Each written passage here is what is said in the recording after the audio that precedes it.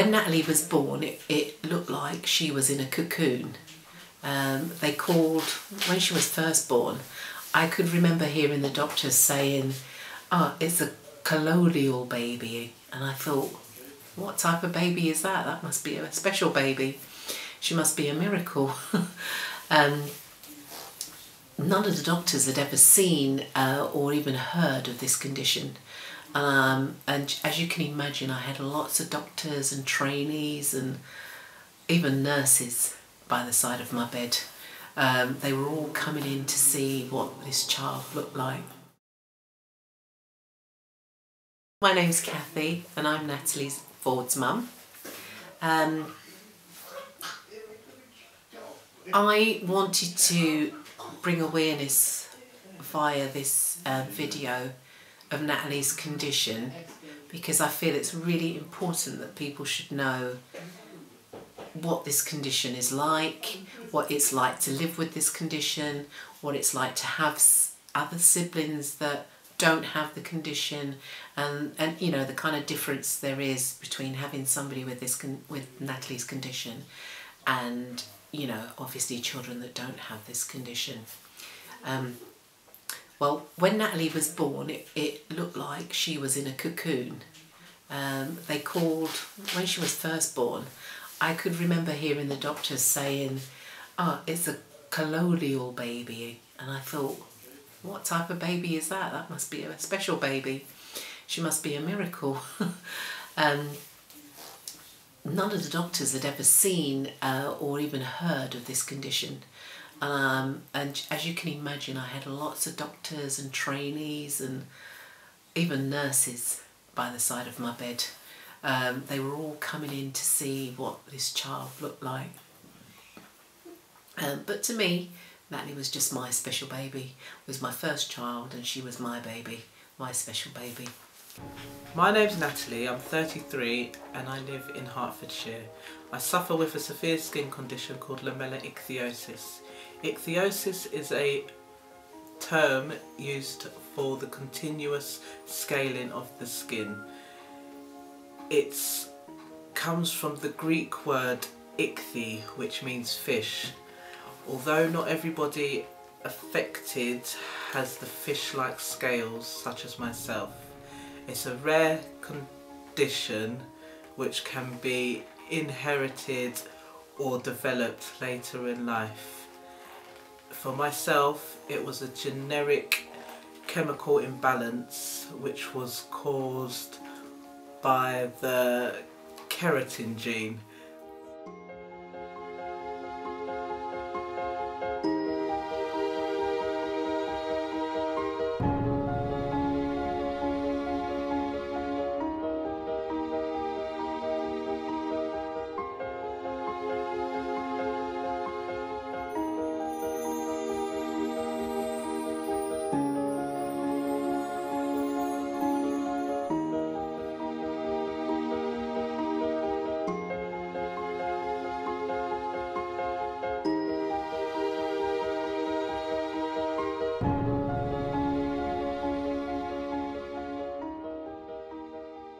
here I am today. I've come to Moorfields to have my checkup for my skin grafts of the upper and lower eyelids. I've just been to see the nurse which um, does the eye test um, which is called the Snellen chart.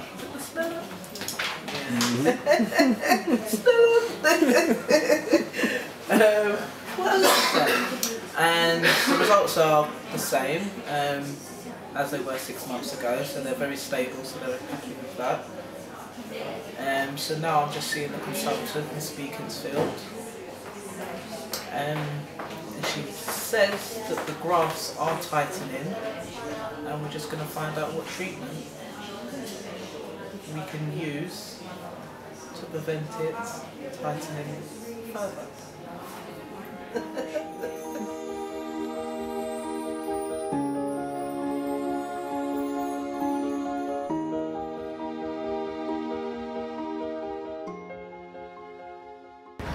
Right, I've just come out of my appointment with Miss Beaconsfield. Um, she's quite happy um, with the skin grafts that she has done. Um, so she's going to review me in a year's time, which is good. That's progress. Um, the corneal graft team, who done my uh, corneal graft in my right eye, um, are just a bit concerned that there's a bit of drying, um, which will affect the graft to reject. So they've given me some um, new eye drops to test, and they're going to review me again in months' time. So hopefully all is well and we'll be back on track. When Natalie was born, her eyelids were actually inside out. Even though she was born as a cocoon, the inside of her eyes were turned inside out really and all you could see was the pink bit of her eyelids. Um, now her eyes were like because of the tightness of the skin it was pulled outwards and upwards. So all you could see was the pink bit when she was born. Uh, so it, it, makes the eyelids look red and it makes the eyelids look really sore. And it was very very she was very very prone to having dry eyes and dry drying of the eyelids. And it was got always got like irritated by anything that touched it you know back in the days they used to have to put a lot of eye drops in um, just to keep the eyes moist. Um, and I suppose that is one of the progressions of this is that nowadays they have operations that you can do. Um, Natalie's had grafts done, inserted grafts. What she had to do was um, treat part of her um, arm and get a bit of the skin that was really, really soft. And then they were able to take that skin off and graft it onto her eyes which you know if you look at it now it looks absolutely fantastic. You know they really have come a long way with um, medication or with treatments that she can get now. She's had um, her cornea of her eyes. This was not so long ago the her eyes um, was her corneas in her eyes was so weak that one day she just wiped her eye and it it popped. You could basically say her eyes was her eyes was popping through.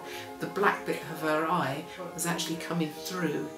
I know it sounds a bit graphic, but you know, even to me, it surprised me, and it surprised me the way she dealt with it. You know, she dealt with it fantastically.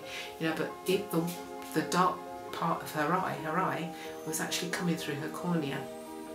And what they did they they were able to push that back in and put a graft around it something to actually hold it together.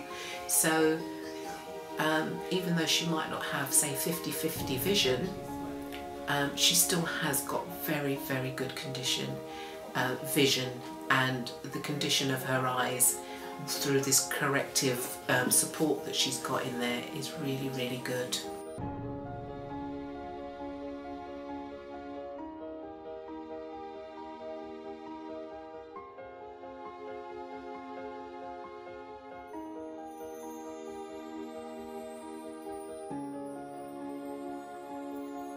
My name's Cheryl Willis. Me and Natalie have been good friends for most of my life. Been brought up together.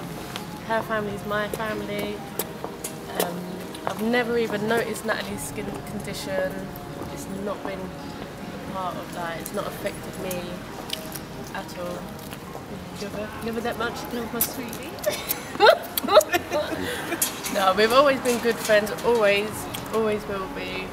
Um, she's always been a very strong, independent woman, and I've never known it to bother her, her skin condition at all.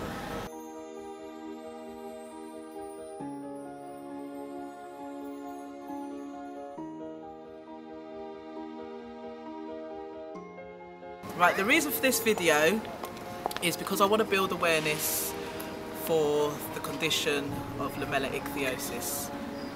Now, through that I've um, built up a charity called Keep Smiling Um, the reason for all of this is because I had an appointment at St Thomas's um, Hospital last year, November, and all they could offer me was the same treatment they offered me about eight to ten years ago, which made my hair fall out. Now I got very upset and just couldn't understand why. So with that, it drove me to want to do this for myself and for all the other sufferers.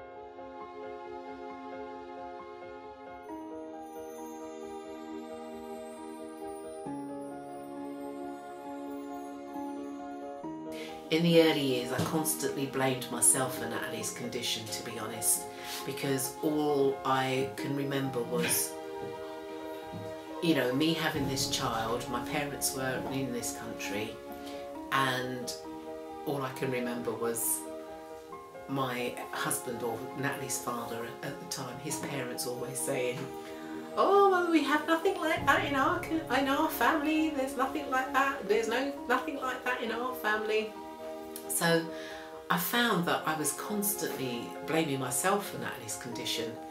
Um, but the more I bonded with her is the more I realised that no one was to blame really for this condition. This is like an act of God.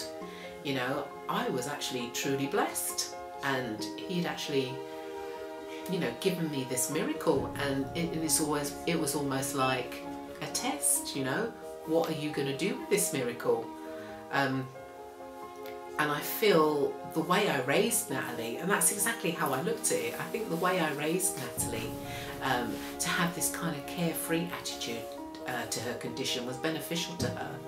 Um, as she always seemed to cope very well with her condition. You know, unfortunately, society's reaction to her appearance was often hostile and, uh, and people would openly stare at her.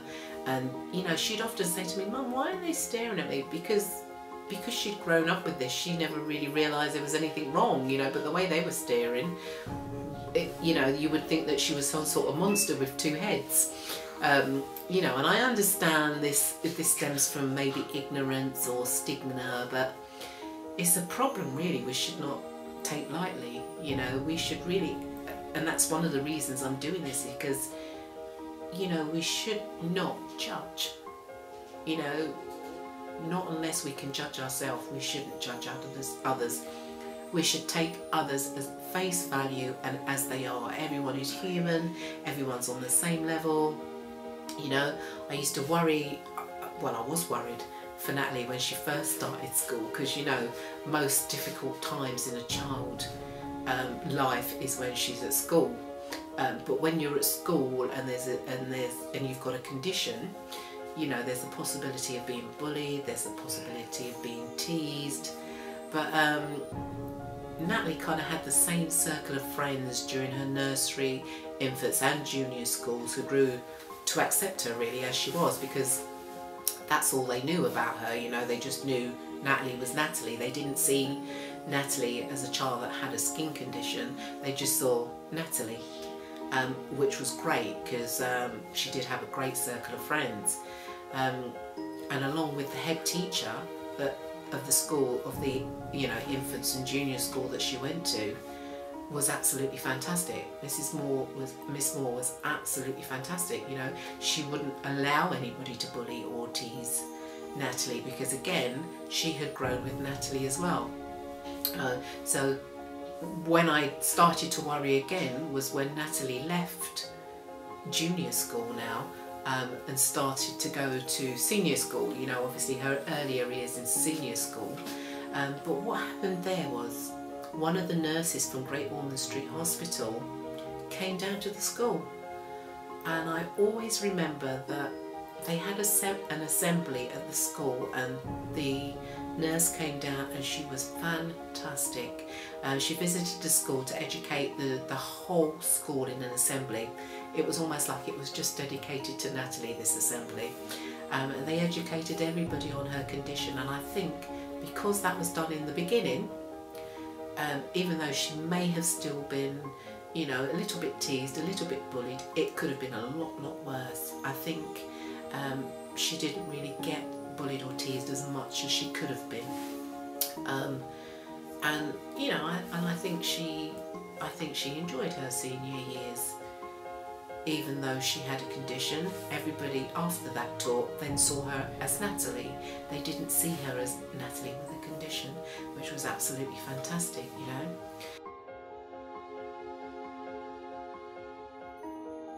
When I first joined the school, Natalie was in year three. And I have to say, the first thing I had to make myself do was to hold Natalie's hand hmm. because I had no understanding of her condition uh, and I will also say that I initially thought she had been in a fire and had third degree burns all over her body. I think the way Natalie has dealt with her condition over the years has been absolutely amazing. In the four years I've known, knew Natalie at school and I have known her since as a parent um, and her children attend my school currently, her mum took her for every sort of treatment she could possibly think of. Chinese medicine, Natalie's attended various hospitals, she has to be had to be creamed regularly. In school she was creamed two or three times a day and one of the, th the difficulties that she had to overcome was the fact that her skin would fall off in great big chunks and often smell because of all the various um, creams that she had. None of the children ever, ever considered Natalie to be any different to themselves, which I thought was such a credit to her and to the children. If a new child joined the school, they were taken aback slightly and like myself thought she had been burnt severely, but never ever was Natalie ever bullied or ever called names about her condition. And she has dealt with it in the most mature and amazing manner. I spoke to all the children about her condition and I remember having quite a frank discussion with Natalie about how it felt. Um, and she told the children what life was like for her, having to cream herself, having to deal with the skin falling off. And I think children then got an understanding of how difficult it was for her and if they ever came across another child or an adult like this, then would have a greater understanding. I fully support Natalie in her charity and hope that uh, she does really well with her fundraising for St Thomas's.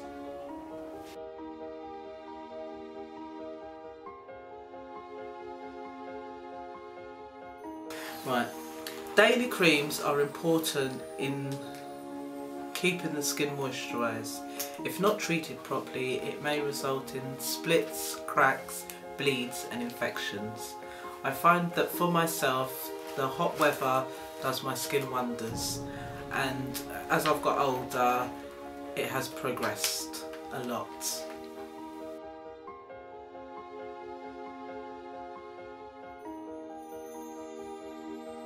In my years growing up, I found it very hard and difficult at times. In my time at infants was hard, you know, as the kids were young and they'd stare and point and whisper. Um, and I just found myself coming home after school, locking myself in my room and just sitting there wondering why me, why why have I got to be different from the rest? And I just found it very hard. Now when I started senior school it wasn't as bad but it was more intense as the kids moved in groups. So I just felt neglected you know like no one really wanted to be near me or play with me I'd just be on my own. Um, there was a few people that I spoke to and got on with and you know would go around their house for dinner but most of the time I'd just be on my own but it's things like that that made me stronger and who I am today. Now, when I left school, I got a job at telecommunications. You know, I thought that if they can't see me, then I'd be okay. But that really wasn't for me. So, up until 2005, I was in and out of jobs. You know, I found it hard with like the customers or the kids staring and talking. Um, I realised that I'd had enough. I got depressed. Um, I let my condition get the better of me, and so I turned to drugs. At that time in my life, I felt like there was nothing to live for, that there was just no point. So I just would sit there and just indulge in drink or drugs and just hope that I wouldn't wake up. Now, in 2010, I had my beautiful daughter, and two years later, I had a beautiful son. And I just want everybody to know that although you may have this skin condition, you don't need to let anything get the better of you. You just have to keep smiling through it all. I believe Natalie has adjusted really, really, really well and has managed to lead a normal, relatively normal life with her condition. And also, although this type of condition would require a strong person, a strong personality, this is my Natalie. She's an inspiration to others. And when you have people complaining about things like, you know, they'll think, oh, you know, they whinge and moan about this, they whinge and moan about that, they complain about the slightest thing. What you need to do is take a step back and think of what you're complaining about because there's always somebody out there that's worse off than you. Now, I can truly, truly say I am blessed to have Natalie as my daughter. I love her unconditionally and I'd have her no other way. She is, she, I have learned so much from her. You know, you, you grow in life because we're both growing. We're growing every day. And you know, every day that I see her, I see she is a strong, um, she's a strong woman. She's, you know, she's given me two beautiful grandchildren. Some people back in the days might think, oh no, I've got a skin condition, you know, I can't have any kids, I don't want to go out. They might seclude themselves, you know. But my Natalie has been absolutely wonderful. You know, she's she's she's one of the best things that's ever happened to me in life, and I love her unconditionally. You know, I am truly, I can say God is truly working miracles in my life because I'm truly, truly blessed with her. You know, but what I would also like to say is thank you to my family. You know, my family has showed me an overwhelming support, um, helping me all the way through because without family, you know, blood is always thicker than water, as they say. My family has been overwhelming with their support that they've given to me and that they've given to Natalie during her 33 years of life. You know, I wish her long life, long prosperity, and I hope that you all can look at this video and think, wow, you know, that she has really been through a lot. I'm going to stop complaining now because whatever I'm complaining about is minimal. And I just hope as well that you'll look up her charity and help towards it because just like everything else we need to fight or we need to we need to fund certain things to to be able to learn why things work this way. So if it's possible to donate, donate. I love you all. Take care Natalie, you are simply the best.